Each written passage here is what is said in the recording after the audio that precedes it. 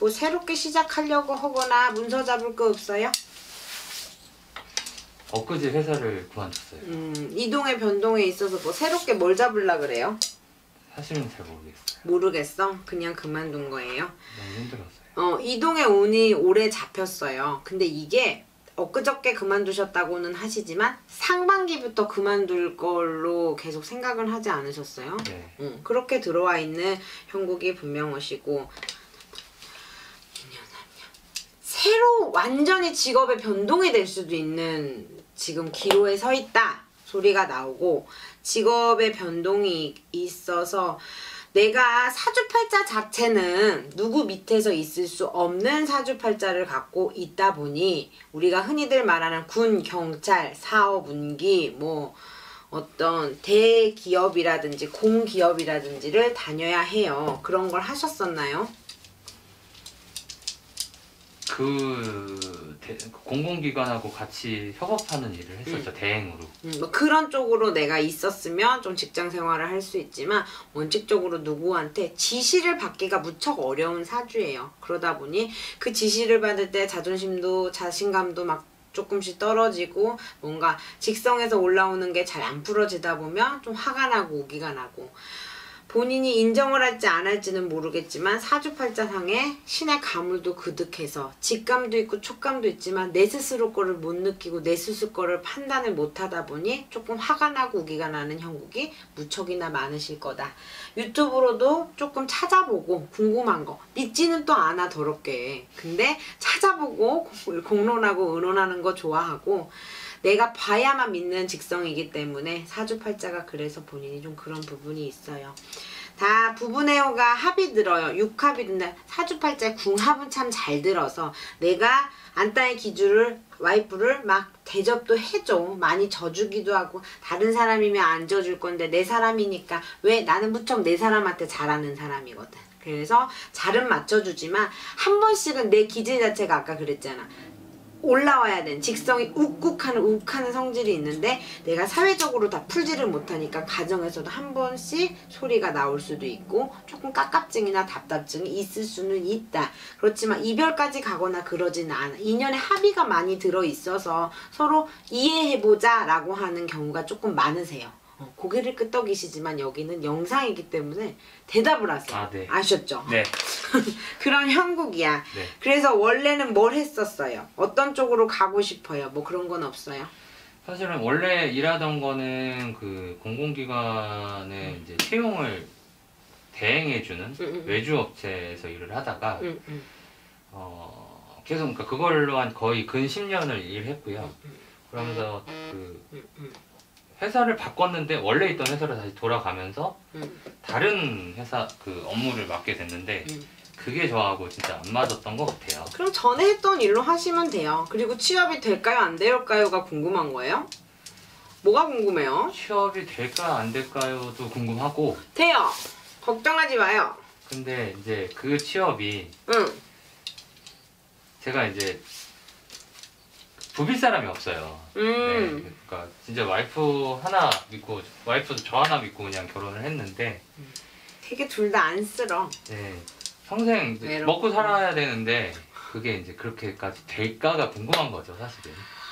되게 추론적이고 생각도 되게 많고 그지? 네, 사주가 그래. 네, 고민도 되게 많고. 진짜 생각 많아요.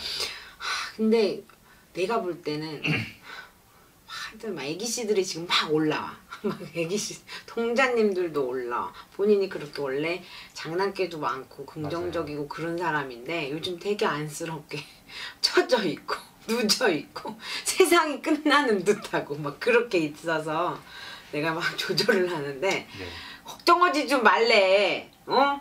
그리고 취업이 두 달, 세 달, 조금 쉬어도 될 만큼의 두 달, 세 달, 입에 풀칠하니까 그것도 걱정하지 말래. 그리고 직업 변동이 완전히 되는 건요. 40대 중후반이 넘어서 한 번에 직업이 변동이 내 것을 하게 돼서 내가 주체적으로 뭐 사업을 한다거나 아니면 내가 뭐 조그만 걸 어떤 걸 해본다는 거는 40대 중후반이 넘어서 본인이 할 거고 같은 부류에 같은 조금 기질적으로 다른 분야에 지금 좀 있어 봐봐. 그러면 스카우트 제안도 들어올 수 있어. 어디서. 내가 그만뒀 그만뒀다는 소식을 듣고서 어디서 제안도 들어올 수 있다고 하니까 두세 달 길어야 세 달이야. 안 그리고 금전이 아니었으면 조금 쉬었으면 좋겠는 마음도 대주님 마음인데 네. 어쨌든 책임을 져야 되는 대주다 보니까 아마 얼른 얼른 움직이겠다 소리는 나는데 네. 길면 세 달이고 짧으면 한두 달 안에도 내가 들어갈 수 있는 곳은 생기니까 그걸로 걱정은 하지 마요. 그리고 먹고 살 수 있을까? 내가 평생 이렇게 해서 내가 할 수 있을까라는 거에 있어서 사실은 종교적으로 가물의 집이에요. 여기 와이프도 그렇고 나도 그렇고 둘 다 종교의 색깔은 뚜렷하게 조상을 믿고 가야 되는 사주 팔자야. 팔자 자체가 그래요. 네. 음, 그러다 보니까 의지하고 믿고 가서 불 밝히고 사시는 게 본인들한테 맞는 사주이고요.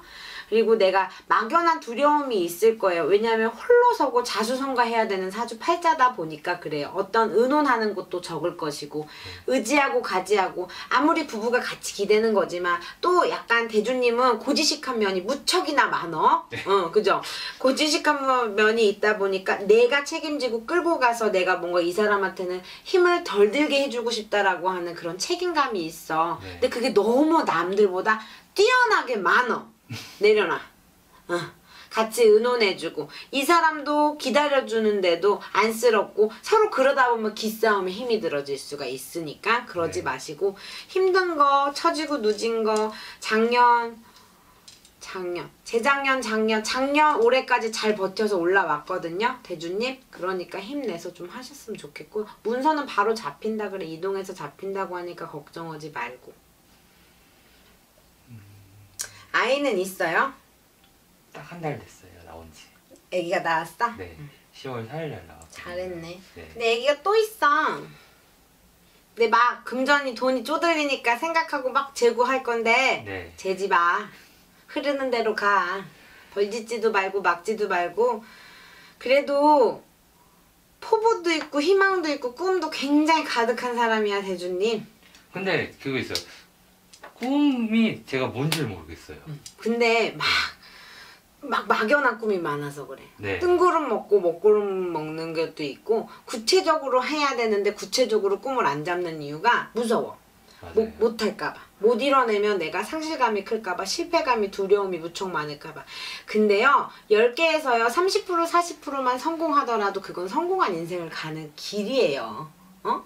그 안에 지름길이 있어 실령님을 믿고 빌고 쌓고 하는 것도에 플러스 알파 옵션이겠지만 계획을 안 하면 아무것도 없어도 사실은 작년 재작년에 계획하고 싶은 게 없어. 지금 주어진 것만도 너무 머릿속이 복잡하니까 그냥 답답해. 깝깝해. 근데 애기까지 나온다고 하니까 더 깝 깝해 답답해 사실은 그런 것도 있으셨어 네. 너무 행복하고 좋은 일이고 감사한 일이지만 무서운 거야. 아빠가 처음이라 의지할 데도 없어. 네. 가지할 데도 없어.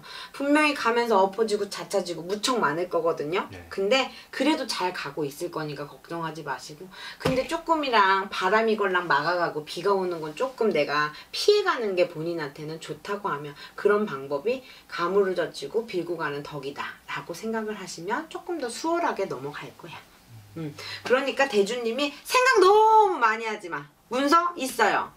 이동의 변동에 있지만 그래도 어디 가서 존경받고 대접받고 신입으로 들어갈 일이 아니고 지금 하고 있는 일에 그 전 일이라든지 지금 일이라든지 뭔가 업그레이드 돼서 할 수 있으니까 그거 하시면 될 거고 가장으로서 잘 책임감 갖고 가시면 될 거예요.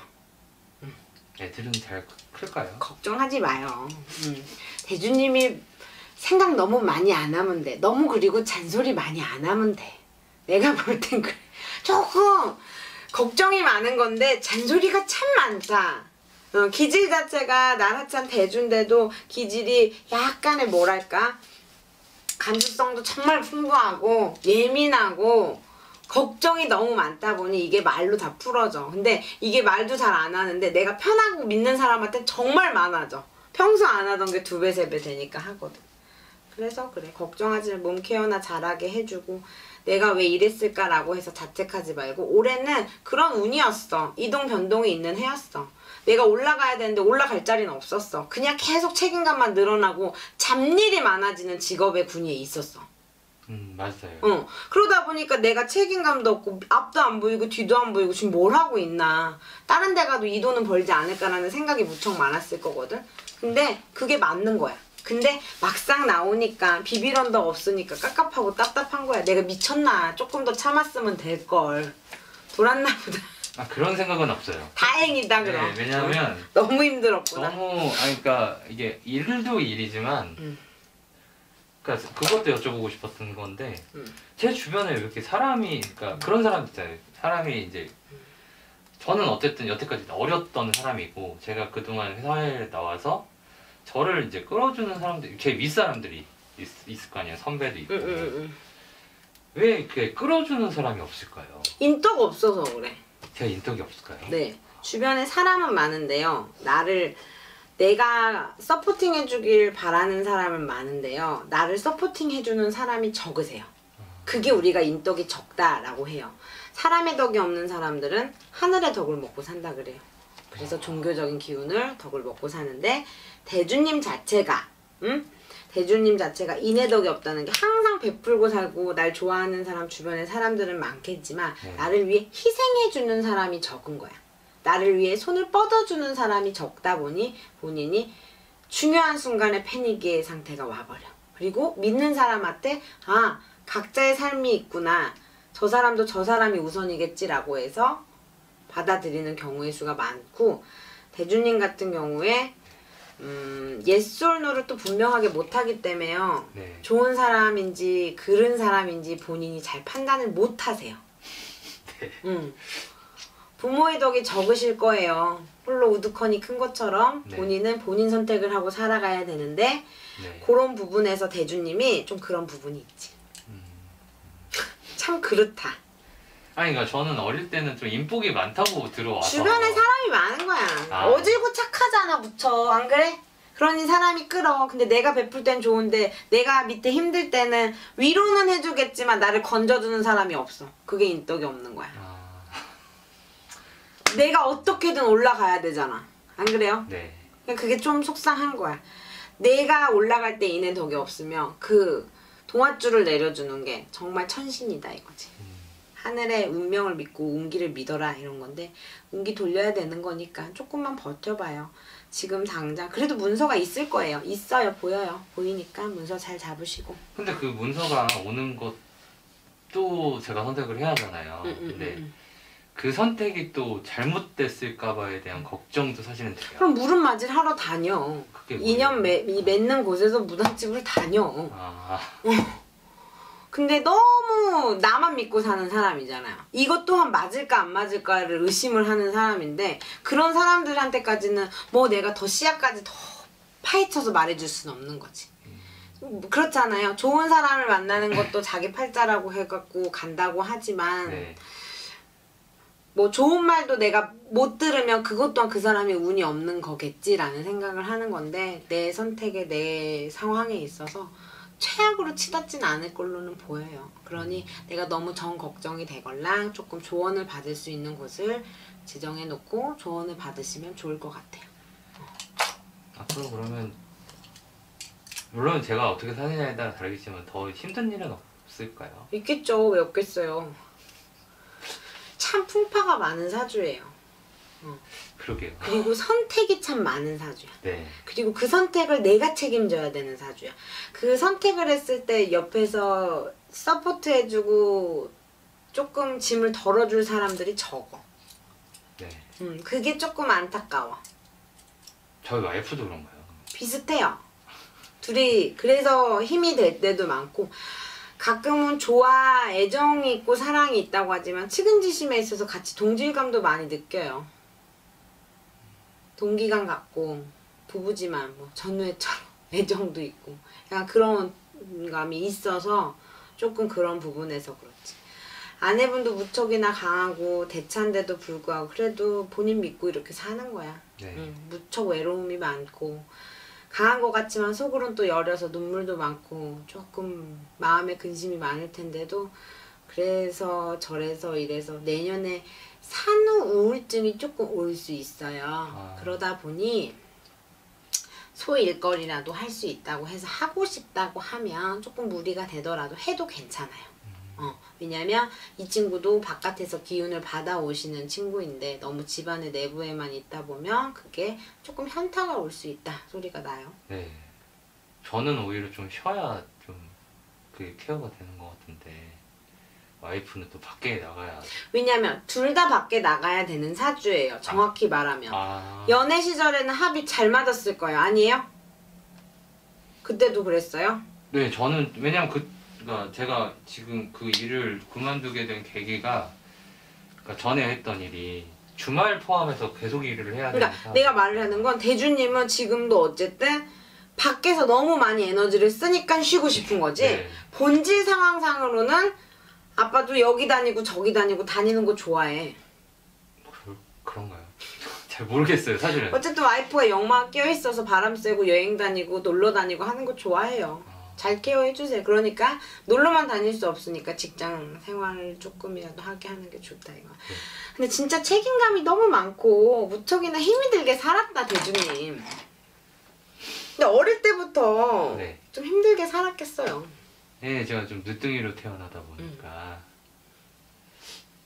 원래 늦둥이들은 다 이쁨 받고 산다고 하던데 그렇지 않아요. 막내랑 막내랑 첫째가 사주가 그렇게 바뀔 때도 있어요. 아, 그래서 본인 본인 사주가 그런데 뭐 무척 일복도 많을 텐데 예, 근데 일복은 많은데 뭐 사람 복 복은 많아 참 많아 근데 내가 막 고생을 많이 해야 되지. 네, 그러니까 제가 움직인 대로 먹- 그냥 먹고 살 수 있는 그거인 것 같더라고요. 금전은 절대 안 꿈껴. 그래요. 응.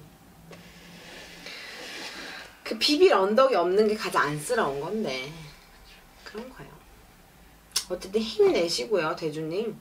뭐 걱정은 하지 마요, 문서. 돈이 마르지는 않은 사주에. 쌓이기가 좀 어려워서 그렇지. 더뎌서 그렇지. 이렇게 이렇게 차곡차곡 쌓이는 게 좀 어려워서 그렇지. 아셨죠? 네, 네, 감사합니다. 네, 고맙습니다.